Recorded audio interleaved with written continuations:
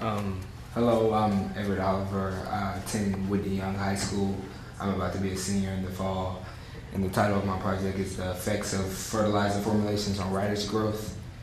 Um, um, some background information. Commonly used fertilizers and the fertilizers used in this experiment are made up of three elements, the three most important elements, and those elements are nitrogen, phosphorus, and potassium. Um, nitrogen uh, promotes green leafy growth. Plants who have been neglected of nitrogen grow yellowish leaves and usually have weak stems. Um, phosphorus is, a, is important to, for seed germination, root growth, and the setting of fruits and seeds. Um, a deficiency in this element can produce a purplish tinge to leaves. These are some examples. The first plant has been uh, has a deficiency uh, deficiency uh, in nitrogen. As you can see, the pur- purplish tinge in the one that's been deprived of phosphorus.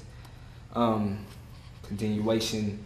Um, potassium has a job of building starches and sugars, which also contributes to um, root growth, but uh, it also contributes to um, resistance against diseases.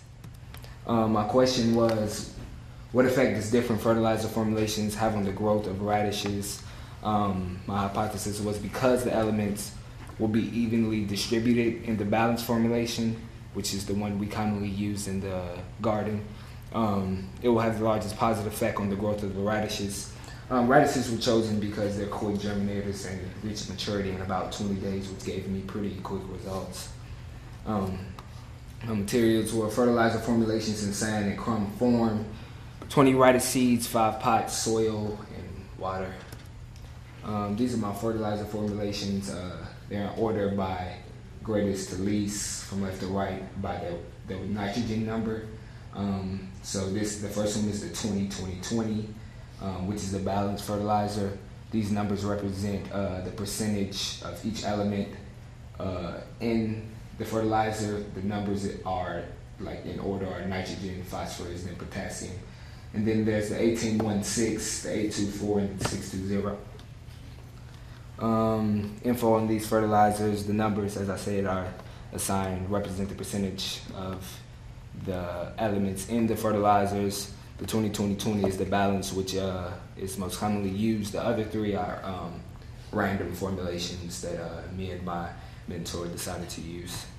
Um, my procedure was to plant uh, a row of five pots of soil, plant four radish seeds in each pot, the top and the top, the bottom, the left, and the right of the pots. Um, I didn't apply uh, fertilizer to the first pot because that was my control, so it would only be watered. Um, also, then I assigned fertilizers to each of the other four pots, uh, watered them and uh, fertilized once a week, but I watered every day. Too much fertil- fertilization could damage the growth of the plant, so we wouldn't want too much of that. Um, uh, then uh, I looked for germination. When I saw that the seeds had germinated and beginning to grow, I took average daily uh, heights in centimeters. And uh, after three weeks, I harvested the radishes and took the average above ground biomass, meaning the stem and the leaves of the of the plants, and uh, then I took the below the root growth or the root biomass, which is basically I took the weight of the radishes because the radishes do represent the root growth. Um, this is my experiment setup, as you can see the five pots. Uh, this is my final results.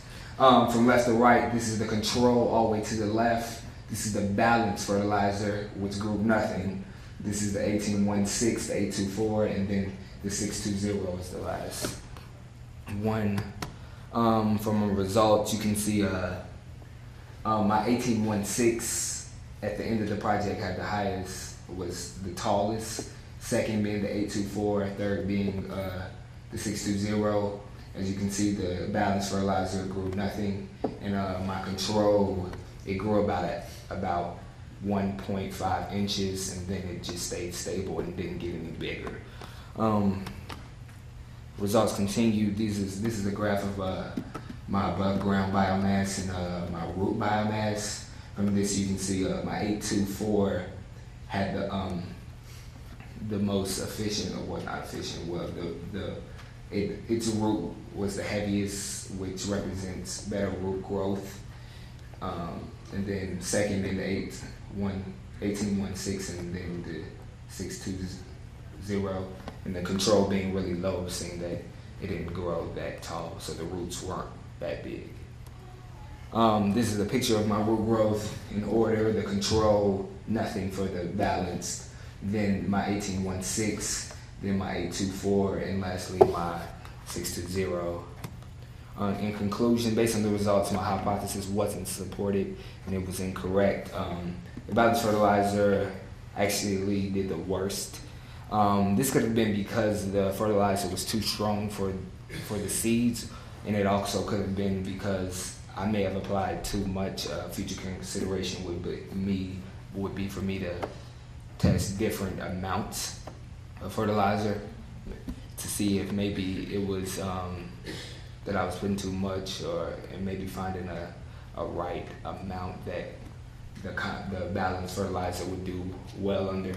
Um, as far as plant height, the 1816 formulation had the most positive effect.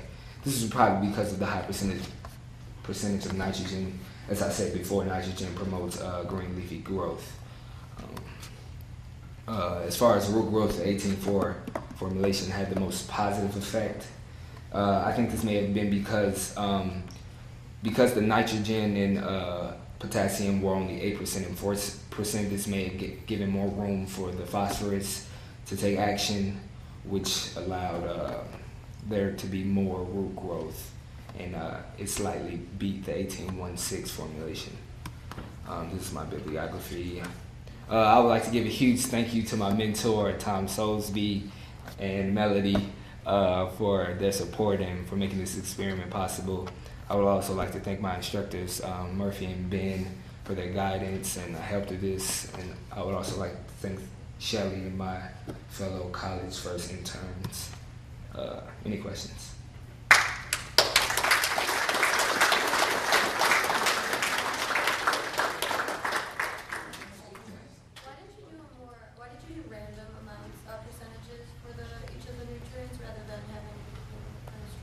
Um, the, these were um, formulations that were, were available in the garden.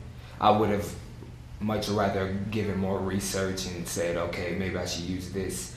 But uh, I didn't. These were readily available to me. You already made. Uh, yeah, these were. Yes. Any other questions? Thank you.